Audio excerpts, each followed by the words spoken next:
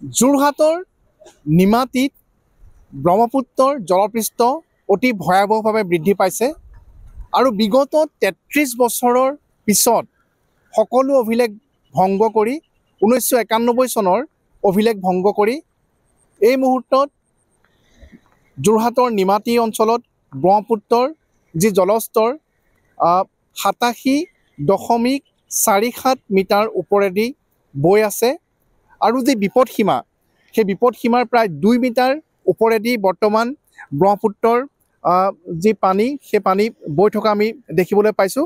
আৰু আমি দেখুৱাইছোঁ যে মোৰ বাওঁফালে এইটো হৈছে যিটো পথ যিটো পথেৰে নিমাতীৰ কমলাবাৰী ঘাটলৈ অহা হয় যিটো মূল পথ হয় আৰু সেই মূল পথৰ কাষত আমি দেখুৱাইছোঁ যে ব্ৰহ্মপুত্ৰ নদী এই পথ পথৰ ওপৰে বাগৰিবলৈ প্ৰায় এই অঞ্চ এই এই অংশত প্ৰায় তিনি চাৰি ফুট বাকী আছে। আৰু যদি আমি পথটোৰ বিভিন্ন স্থানত যদি কথা বিবেচনা কৰোঁ তেনেহ'লে কিছু অংশত হয়তো এফুট কিছু অংশত দুফুট তলেৰে বৰ্তমান ব্ৰহ্মপুত্ৰৰ পানী বৈ আছে।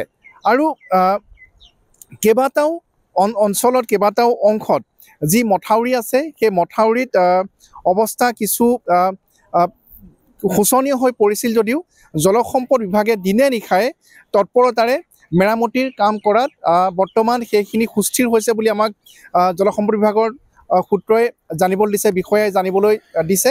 আৰু আমি পুনৰ দেখুৱাব বিচাৰিছোঁ যে বৰ্তমান নিমাতীৰ আটাইকেইটা ঘাট ঘাটে ঘাটৰ পৰা মাজুলীলৈ যি ফেৰী চলাচল সেয়া বন্ধ কৰি থোৱা হৈছে আৰু যি যিসমূহ ফেৰী বা ইয়াত যিখিনি জাহাজ আছে সেইখিনি আহি বৰ্তমান এই পথৰ কাষত কাষলৈ যিহেতু ব্ৰ- ব্ৰহ্মপুত্ৰৰ জলস্তৰ বৃদ্ধি হৈছে কাষত আহি তাত চপাই থোৱা হৈছে।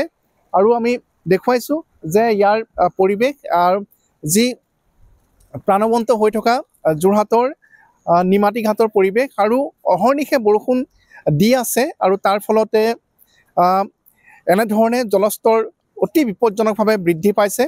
আৰু ডিব্ৰুগড় আৰু ঢলাত ব্ৰহ্মপুত্ৰৰ পানী কিছু পৰিমাণে কমাৰ খবৰ আহিছিল যদিও পুনৰ সেই জলস্তৰ সেই অঞ্চলত অৰ্থাৎ ডিব্ৰুগড় আৰু ঢলাত বৃদ্ধি পোৱা বুলি খবৰ আহিছে আৰু তাৰ বাবে আমি দেখু দেখুৱাইছোঁ যে উজনিত যেতিয়া জলস্তৰ বৃদ্ধি পায় তেনেহ'লে তাৰ কিছু সময় পিছত যোৰহাট যোৰহাটৰ নিমাতীতো এনেধৰণৰ জলস্তৰ বৃদ্ধি পায়। আৰু ইয়াত থকা যিসকল স্থানীয় লোক আছে তেওঁলোকে জানিবলৈ দিছে যে যিসমূহ দোকান পোহাৰ ইত্যাদি আছিলে বা যিটো প্লেটফৰ্ম আছিলে কমলাবাৰী ঘাটৰ আমি সেয়াও দেখুৱাবলৈ চেষ্টা কৰিম। যে বৰ্তমান পানীৰ তলত ডুবি আছে আমি দেখুৱাইছোঁ যে যিটো নিমাতী কমলাবাৰী যি ফেৰী সেৱা আমি দেখুৱাইছোঁ যে বৰ্তমান যিটো ঘাট যিটো ৰেম্প ওৱান লিখা আছে বৰ্তমান পানীৰ তলত ডুবি আছে আৰু অতি বিপদজনকভাৱে নিমাতী অঞ্চলত আমি দেখিবলৈ পাইছোঁ যে সুদীৰ্ঘ তেত্ৰিছ বছৰৰ পাছত এনেধৰণৰ দৃশ্য আমি দেখিবলৈ পাইছোঁ। সেয়া ৰেম্প ওৱানৰ যি অংশইদি মাজুলীলৈ যাতায়াত কৰা হয় আৰু ফেৰীত উঠিবৰ বাবে আমি এই অংশইদি নামি যোৱা হয়। আমি দেখুৱাইছোঁ যে যিটো ৰেম্প আছিলে সেই ৰেম্পৰ সেই দৃশ্য দেখা দেখিলেই জনসাধাৰণে উপলব্ধি কৰিব পাৰিব যে কেনেধৰণৰ বিপদজনকভাৱে জলস্তৰ বৃদ্ধি পাইছে। নিমাতীত ব্ৰহ্মপুত্ৰৰ আৰু স্থানীয় লোক আছে। আমি যিসকল স্থানীয় ব্যৱসায়ী আছে আমি তেওঁলোকৰ পৰাও জানিব বিচাৰিম যে কিমান দিনৰ বিৰতিৰ পাছত এনেধৰণে ব্ৰহ্মপুত্ৰৰ জলস্তৰ এনেধৰণৰ অভাৱনীয়ভাৱে বিপদজনকভাৱে অতিকৈ বিপদজনকভাৱে বৃদ্ধি পোৱা আমি দেখিবলৈ পাইছে। ইয়াতে স্থানীয় ব্যৱসায়ী আছে লক্ষী হোটেলৰ স্বত্বাধিকাৰ লক্ষিতা আছে। লক্ষিতা অলপ ক'ব নেকি যে এই যিটো পানী সেই পানীটো কিমান বছৰৰ পিছত আপুনি এনেধৰণৰ দেখিবলৈ পাইছে এইবাৰ? ঊনৈছশ অষ্টাশী চন আৰু ঊনৈছশ একানব্বৈ চনৰ পিছত আমি এনেকুৱা এটা ভয়ানক পানী দেখিবলৈ পাইছোঁ। কিন্তু পানী অষ্টাশী আৰু একানব্বৈ চনৰ পিছত পানী আহি আছে কিন্তু সেই এইটো ধৰণৰ পানী তেনেকুৱা ধৰণে পানী অহা নাই। তাৰ কাৰণে সৰু সৰু পানী হৈছে গৈ আছে। কিন্তু এইবাৰ অলপ ভয়ানক বুলি ভাবিছোঁ কিয়নো একেদিনাখনেই মানে যোৱাকালি একেদিনাখনেই ইমান ডাঙৰ পানী আমাৰ অতিক্ৰম কৰিলে গতিকে আমি এনেকুৱা পানী আমি অষ্টাশী আৰু একানব্বৈ চনৰ পিছত পুনৰবাৰ দেখিবলৈ পাইছোঁ। আৰু যিসমূহ ব্যৱসায় প্ৰতিষ্ঠান আমি দেখুৱাইছোঁ যে আহ, নিমাতী ঘাটৰ বহুখিনি বৰ্তমান পানীৰ তলত আছে এতিয়া। হয় হয় হয়। হয় আমাৰ বৰ্তমান নিমাতী ঘাটৰ ব্যৱসায়ীসকল তাৰোপৰিও ওচৰৰ স্থানীয় যিমানখিনি গাঁও আছে সকলোবিলাক পানীৰ কবলত বৰ্তমান আছে। আৰু এতিয়া নিমাতী ব্যৱসায়ী সন্থাৰ মানে যিখিনি মানে দোকান পোহাৰ যিখিনি আছিলে অফলামুখ সম্পূৰ্ণভাৱে ধ্বংস হৈ গৈছে। আৰু আপুনি কমলাবাৰী ঘাটৰ দুই এক দোকানীৰ বাদে ইয়াতো সম্পূৰ্ণ পানী গৰাহত আছে। আৰু আহ, বিপদ ক'ত ক'ত আছে? আমি যিটো দেখা শুনা পাইছোঁ যে এফালে শ্লুইচ গেট এখন ভঙাৰ ফলত ৰংদৈ অঞ্চলত লাডুগড় অঞ্চলত সেইফালে বিচ্ছিন্ন অঞ্চল প্লাবিত হৈছে। আৰু ঠিক সেইদৰে ডাইনী গাঁও ঠিক সেইদৰে কি ডাইনিগড়ৰ পৰা কিছু যদি আমি উজাই যাওঁ তেনেহ'লে ককিলামুখ অঞ্চলতো কিছু অংশত অতি বিপদজনক হৈ পৰিছে বুলি খবৰ আহিছে। হয়। হয় কিয়নো মানে আমাৰ ইয়াতে বিপদসংকুল অৱস্থাত বৰ্তমান আমি আছোঁ। তাৰমানে কথাটো এনেকুৱা হৈছে আপুনি অষ্টাশী আৰু একানব্বৈ চনৰ পিছত আমাৰ যিসকল মানে মানে মাথাউৰি কিছু কিছু ক্ষেত্ৰত আমাৰ মেৰামতি হৈছে হৈছে যদিও ধৰা তোমাৰ তেনেকুৱা এটা ডাঙৰ পানী আমাৰ সন্মুখে মানে কোনেও সন্মুখীন হোৱা নাছিলে। গতিকে সেইটো কাৰণে ধৰক কিছু কিছু জেগাত যিটো জেগা নেকি আপোনাৰ ববলিং কৰে বা উঁহ দিয়া হয় তেনেকুৱা জেগা আমি দৃশ্যপট আজিৰ পৰা মানে দেখা পোৱা নাছিলোঁ। কিন্তু অষ্টাশী আৰু একানব্বৈ পিছত এই এই বিৰতিৰ পিছত আমি পুনৰবাৰ দেখা পাইছোঁ ধৰক আপোনাৰ এনেকুৱা এটা হৈছে পানীটোৱে।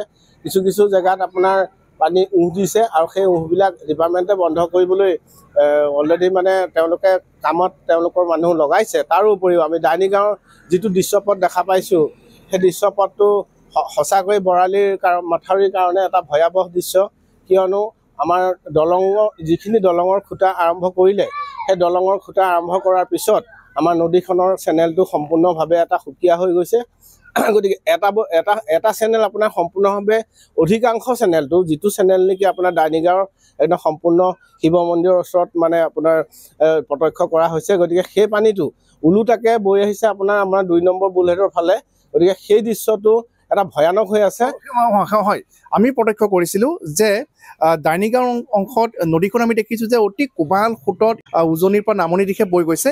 কিন্তু সেই অংশত পুনৰ উভতি পোৱা আমি দেখিবলৈ পাইছোঁ। কিয় তেনে হৈছে? এইটো মানে এনেকুৱা হৈছে যে আমাৰ যিটো দুই নং বুলহেড আছে আৰু সিফালৰ পৰা যিটো আপোনাৰ মানে নদীৰ চেনেল যিটো মাজুলীৰ পৰা যিটো ধাৱমান হৈ আহিছে আমাৰ নিমাতী দিশলৈ সেই পানীটো মানে এইখিনিতে এটা এটা সুকীয়া এটা চেনেল মানে হৈছে যিটো নেকি আমি সাকু বুলি কয়।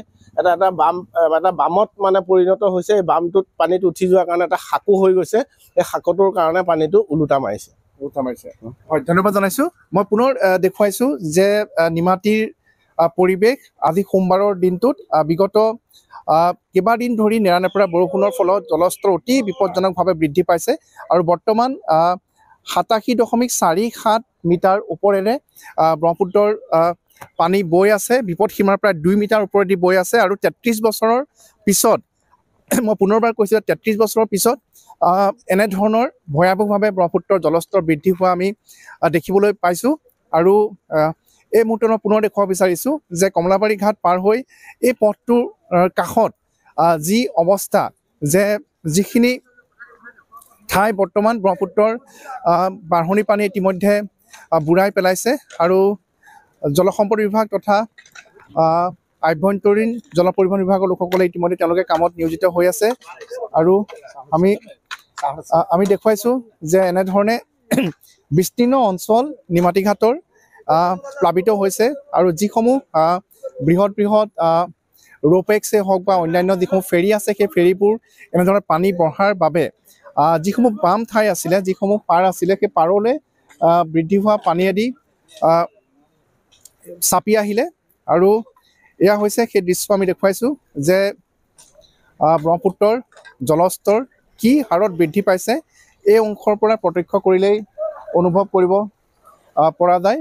আৰু ইতিমধ্যে ফেৰী সেৱা বন্ধ কৰি থোৱা হৈছে আৰু কেতিয়ালৈকে বন্ধ থাকিব এতিয়ালৈকে সেয়া সেয়াও অনিশ্চয়তাতে আছে আৰু আমি দেখুৱাই গৈছোঁ যে এই দৃশ্যসমূহ আৰু এনেদৰেই বৰ্তমান ইয়াতে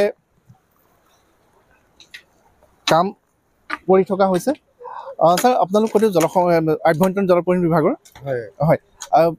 কেনেধৰণে ব্যৱস্থা লৈছে? যিহেতু পানী অভিলেখ হাৰত বৃদ্ধি পাইছে। হয়। ব্যৱস্থা মানে এতিয়া ফেৰীটোতো বন্ধ হয়। এতিয়া আমি আমাৰ উদ্দেশ্যটো হৈছে নাও জাহাজখিনি আমি সুকলমে ৰখা।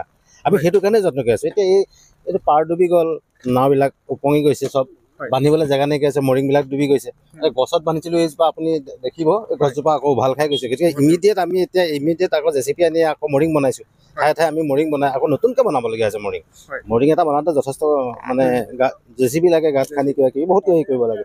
সেইখিনি কৰি আছোঁ এতিয়া। আমি আমাৰ এতিয়া উদ্দেশ্যটো হ'ল জাহাজখিনি আমি সুকলমে ৰখা। যদি যিখিনি জাহাজ আমি দেখা পাইছো যে বাম ঠাইলৈ গুচি আহিলে উপঙি হয়। যদি পানী কমি যায় তেনে সময়ত সেইটোৱে আমাৰ এতিয়া মানুহ এনি টাইম এলাৰ্ট থাকিব লাগিব। পানী কমাৰ লগে লগে আমি আকৌ সেইখিনি নিৰ্দিষ্ট দলে ঠেলিবই লাগিব। আদাৰৱাইজ সেইখিনি আকৌ নহ'লে বামত লাগি যাব। আমি মানে আমাৰ বিভাগৰ সকলো কৰ্মচাৰী চৌবিছ ঘণ্টা এলাৰ্ট আছে আৰু। কে- কে- কেইখন জাহাজ তেনেকুৱা হৈ আছে আপোনালোকৰ এতিয়া? আমাৰ এতিয়া দুখ- এতিয়া কল্পনাৰ এখন। ন তেনেকুৱা হৈ আছে বামত বামত- উঠি আছে। মানে বামত পানী উঠি হৈ যোৱাৰ কাৰণে আছে বামত নাই একচুৱেলি পানীতে আছে। পানীতে আছে কিন্তু মানে অ। বামলৈ গুচি আহিছে। বামলৈ গুচি আহিছে। আৰু এই হয়তো জলস্তৰ হ্ৰাস পোৱাৰ পিছতহে নিশ্চয় আপোনালোকে পুনৰ মুকলি কৰিব চাগে। অঁ সেইটো অনিশ্চয়তা নিশ্চয় অঁ যেতিয়া আমাৰ এটা চুইটেবল চিটুৱেশ্যন আহিব ক্লিয়াৰ হ'ব তেতিয়া আমি খুলি দিম। ধন্যবাদ জনাইছোঁ। আমি পুনৰ দেখুৱাইছোঁ যে এয়া হৈছে আহ, নিমাতী ঘাটৰ আহ, দৃশ্য।